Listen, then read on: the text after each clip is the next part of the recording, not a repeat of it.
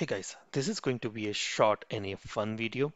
So in this video, what I'm going to do is I'm going to use Alexa and I'll ask her to log in or log out from the IP phone using extension mobility. Uh, this is just for testing and fun purpose. This cannot be used in uh, production because uh, there are so many security concerns and whatnot. So uh, definitely, I mean, um, if you are doing some R&D, definitely uh, you can try it out. But again, uh, this is something like this is over the internet, so it is going to be a risk. It it is going to involve some risk as well. So again, um, so this is not going to be used in production. This is just for uh, fun and testing purpose, right? So let's ask, uh, you know, Alexa to, uh, you know, log into IP phone and let's see how does it behave. So on the right hand side of the screen, what you see right now is uh, a IP phone screen where uh, the you, uh, the phone is configured with a 10008 number. So when I ask to log in, the num phone number will uh, this particular phone will get a TID and a user will be logged into this particular phone. So right now on the left hand side, what you see, the extension mobility feature uh, configuration, there is no user logged in at this moment. So let's do some testing here. Alexa, trigger login to Cisco phone.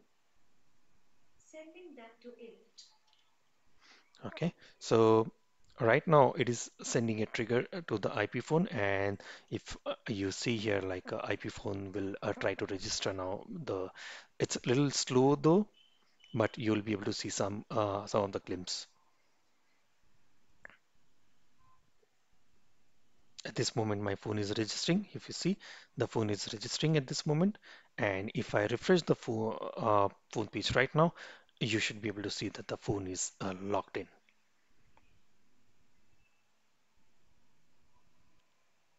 right? So right now, if you see, the phone is locked in at this moment. So if I refresh this page, uh, it'll also show me log logged in. So let's refresh. If you see here, the user is logged in at this moment.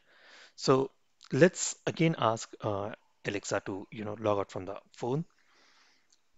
Alexa, trigger logout from Cisco phone.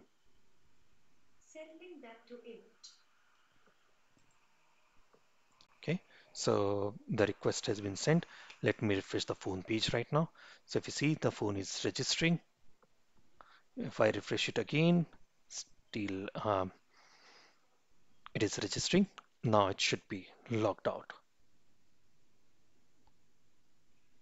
Okay, so if you see the uh, extension has been logged on and the uh, phone is back with 10008 address. Let me uh, refresh the page of the call manager and it, this user will be no, no more logged in.